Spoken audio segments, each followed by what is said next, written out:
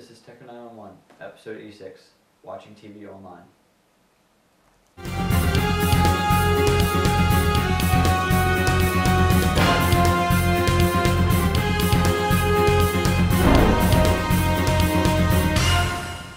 I'm Michael Plasmeier. And I'm Jordan Berman, and today we're going to talk to you about watching TV online. Right, so this is both old and new television shows, like old classic shows, or even new shows that just aired the other day online. Either if you, um, you know, if you want to watch it again, you don't have a DVR, or maybe you don't even have cable subscription. You can just watch it online, and we'll show you both free ad-supported ways and also pay ways. Each show is available, or each show may or may not be available on each different method. So really the problem with online TV is you kind of have to look around to each different place and know you know what's available at each place. It's not really there's one place to go.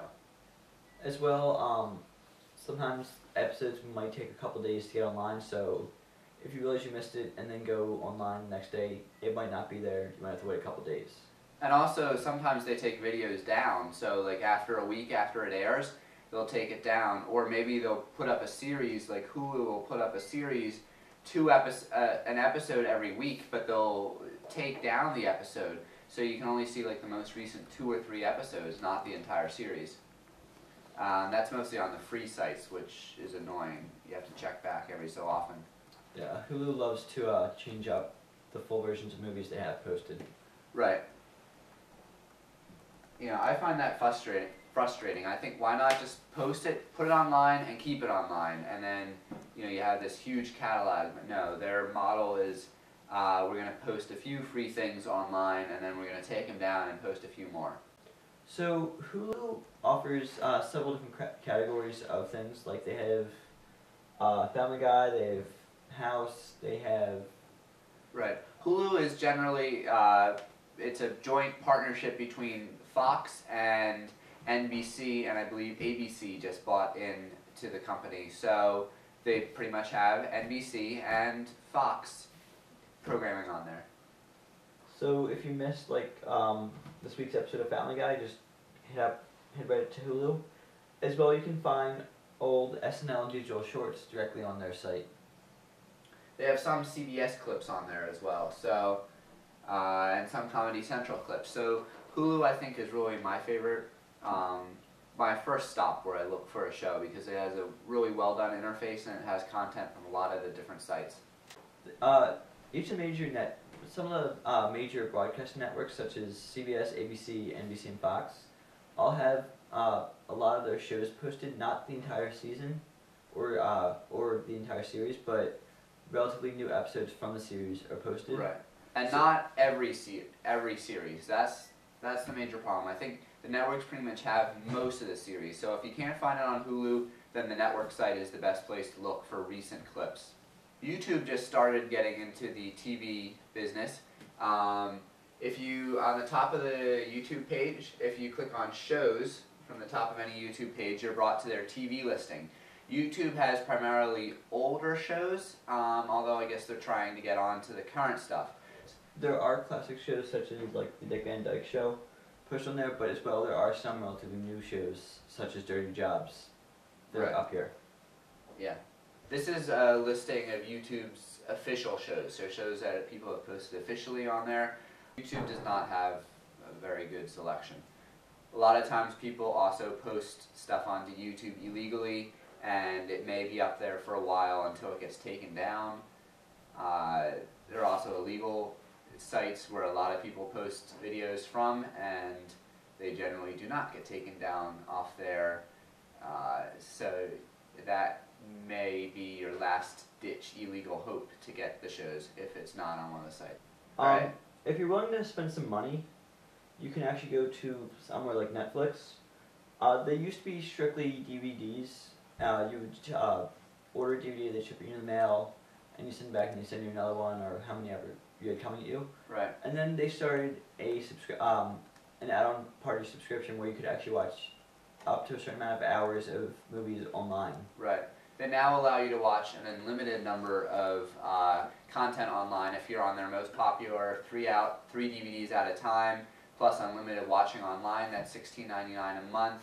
I think somewhere between five and ten dollars. They have just watch online plan, uh, and Netflix has an okay selection of movies online. They have everything by DVD, but on online they have an okay selection.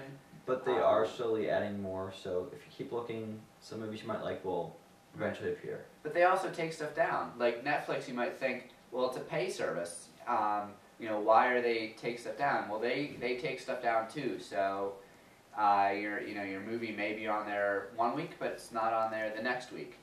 They also have older TV shows that have been released on DVD available to be streamed live, not the recent stuff. Um, another easy way that's sort of like uh, more of a rental thing, anything is you can go to uh, iTunes actually is a thing that they Right. started, where you can uh, it's sort of like an on-demand type feature, but it's based out of the internet, where you can actually rent uh, movies for a day. Rent movies or buy TV shows. I think they're $1.99 an episode.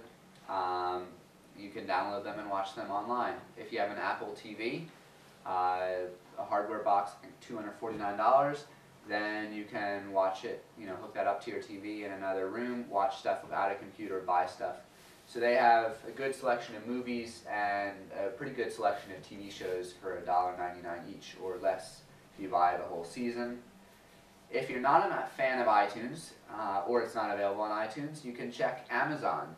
Amazon On Demand is a um, watching service. You can they pretty much offer the gamut. They offer movie rentals, movie purchases, TV show watching, and you can watch it on the computer, like in the actual web browser as like a flash thing, or you can download it for Windows Media Player, and it works on some port on some set-top devices like TiVo or a $99 box you can hook up to your TV, the $99 Roku box. As well, as something that Amazon has that uh, not many have right now is they actually offer uh, such things as TV episodes in HD, as well as movies in HD, which not many people have gotten to making available yet. Right. Uh, I, iTunes also does the HD.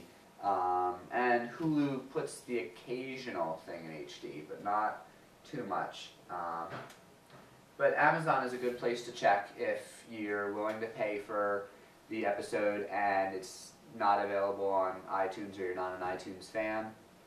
Um, so th- that's this, these are the all the services. So Hulu, the network's own site, YouTube, Netflix, iTunes, and Amazon on demand. So each offers you know a different mix of pay or free, watch on your computer, watch on your own portable device. Um, the iTunes and Amazon lets you watch on your own portable device. Different, some have HD, some don't. So, but the real big difference is some have some shows, others don't have some shows. The shows come and go, add and subtracted. So it's really a gigantic mess right now. You know, between the six different sites we mentioned, and it may not even be available on any of those. Also, um, some shows actually have their own third-party websites that they uh, strictly just offer one episode, and it's actually a, a complete series. Right. So it's it's just a giant mess basically um, of where you can watch TV online. But if you are persistent, you should be able to find it at least on one site or other. I think there are very few shows that are not available on any of the things we mentioned, um, but there may be a few. Also, if you want to uh, watch a good show in HD, Tecker 911 is available in HD. Yep, 911.tecker.net video podcast, which we didn't uh, cover at all. Thanks, Jordan, for bringing up. Uh, best place to look for those is the iTunes store. If you go iTunes and then uh, podcasts, you'll see there are a lot of uh, video podcasts. We don't off- offer the HD one in iTunes, uh, but you can subscribe on our net on our website 911.tecker.net. Another good place where you can find TV that isn't actually shown on TV. So there are uh, different options for watching your computer on your TV. So Um, one we've mentioned a couple times, it was Roku. It's $100, and it works with things such as Netflix and Amazon. well, it only works with Netflix and Amazon. So if you have a Netflix subscription, it'll show any movie available on Netflix on demand, which, as I said, was uh, some selection of movies and TV shows. Definitely not all of them, and movies come and go regularly. Um, another one is the uh, you can use TiVo, which is DVR, to uh, record programs that you're not going to be there for and watch them at a later date. Right. So, and TiVos, which are not direct, you know, hooked up through DirecTV or Comcast, so TiVos you bought standalone, uh, can actually also be used as set-top boxes. They can also be used with the Amazon On Demand, just like the Roku box can be, as well as some other uh, TV watching services. Um, and then Apple has their standalone device, which you can get programs from uh, the iTunes store. Right. So we said 220. We, I said 250. I meant 229 dollars.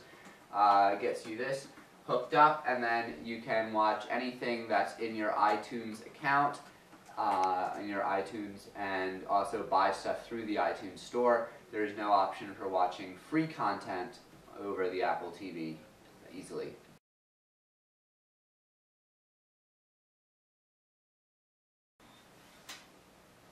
And the final option you can do is to hook a computer up to your television.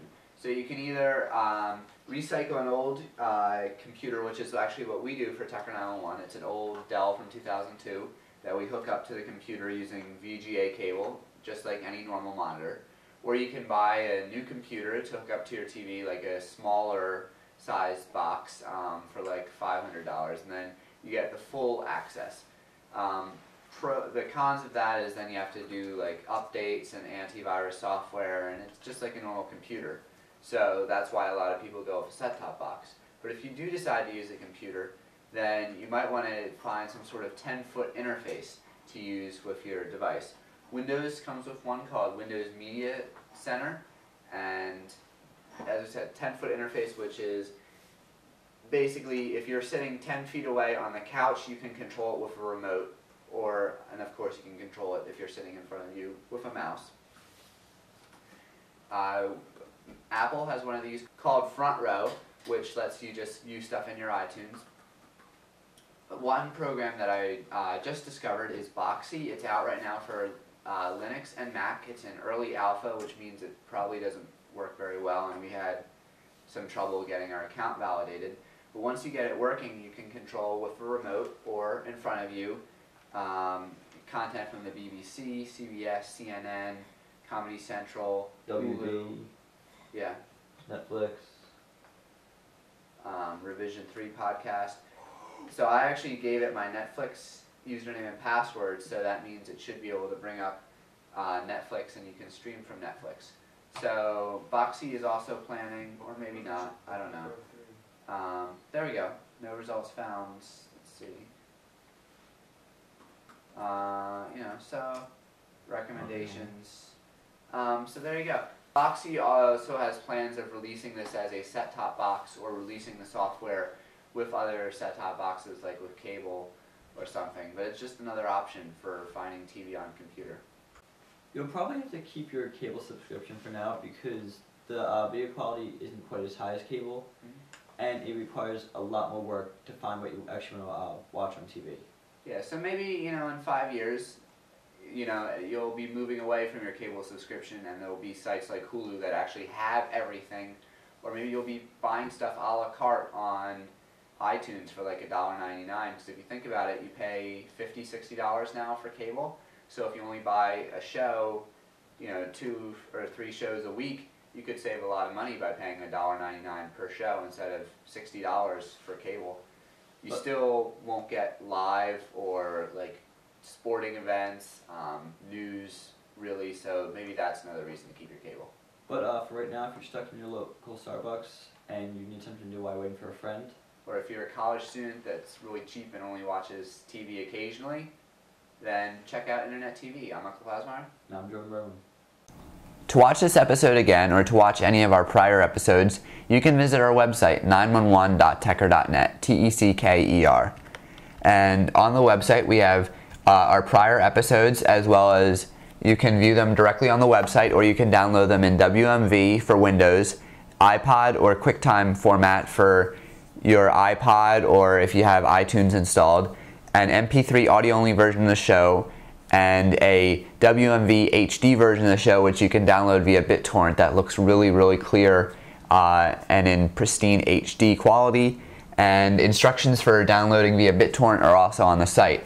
On the right hand side, we have more information about us and about each of the members of the show, as well as quick links to all of our prior episodes and links to the RSS feeds for each of the formats that we release the show in, and links to subscribe to the show in iTunes if you have an iPod, an Apple TV, an iPhone, any Apple device. You can click on that link in either video or audio format. You can also in iTunes search for Tecker, T E C K E R, uh, in the iTunes store, and then you can find our podcast that you can subscribe to free. Also, if you do not have a if you do not have an iPod, if you have like a generic MP3 player, then you can use the uh, you can still listen to our show if on our website you subscribe to this MP3 audio version in a feed catcher in a pod catcher like Juice. Uh, you can search for Juice on Google, download that program, and then it'll load the shows automatically onto your uh, generic MP3 playing device. If you have any questions about the show or about technology, you can send us an email at 911 at tecker.net or you can leave us a voicemail at 610 572 2847. Thank you so much for watching Tecker 901.